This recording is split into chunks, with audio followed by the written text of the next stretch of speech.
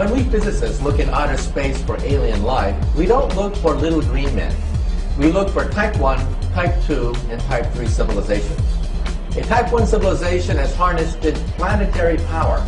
They control earthquakes, the weather, volcanoes. They have cities on the ocean. Anything planetary, they control. That's type 1. A type 2 civilization is stellar.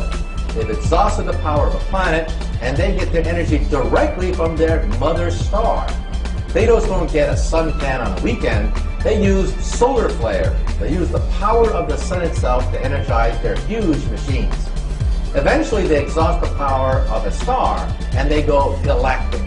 They harness the power of billions of stars within a galaxy. Now, what are we on this scale? We are type zero. We don't even rate on this scale. We get our energy from, not from stars or galaxies, we get our energy from dead plants, oil and coal. Historians will look back and say, holy shit, they were making materials, selling them for corporation profit, over and over and over and over again with absolutely no reference to what the planet had and recycling protocols and everything else. They were burning fossil fuels at a million times the rate of their actual renewability.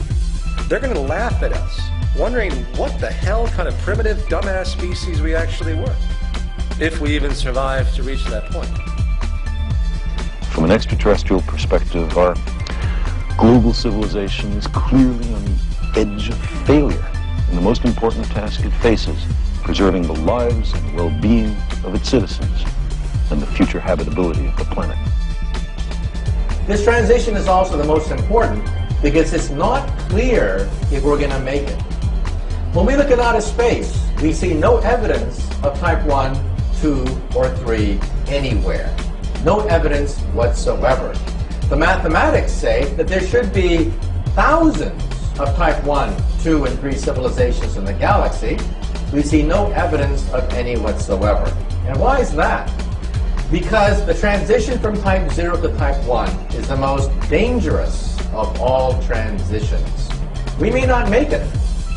I hope everyone out there will understand that either we change or we die. War, poverty, corruption, hunger, misery, human suffering will not change in a monetary system. That is, there'll be very little significant change. It's going to take the redesign of our culture, our values, and it has to be related to the carrying capacity of the earth, not some human opinion or some politician's notions of the way the world ought to be, or some religious notions of the conduct of human affairs. So again, the generation now alive and our grandchildren are the most important generations ever to walk the surface of the earth. We are the generations that will determine whether we make the transition from type 0 to type 1 or we destroy ourselves because of our arrogance and our weapons.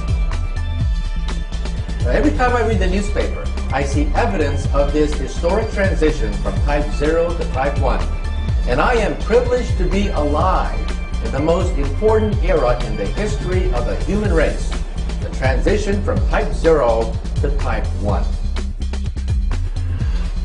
Appeals to racial, sexual, and religious chauvinism and to rabid nationalist fervor are beginning not to work. A new consciousness is developing which sees the earth as a single organism and recognizes that an organism at war with itself is doomed.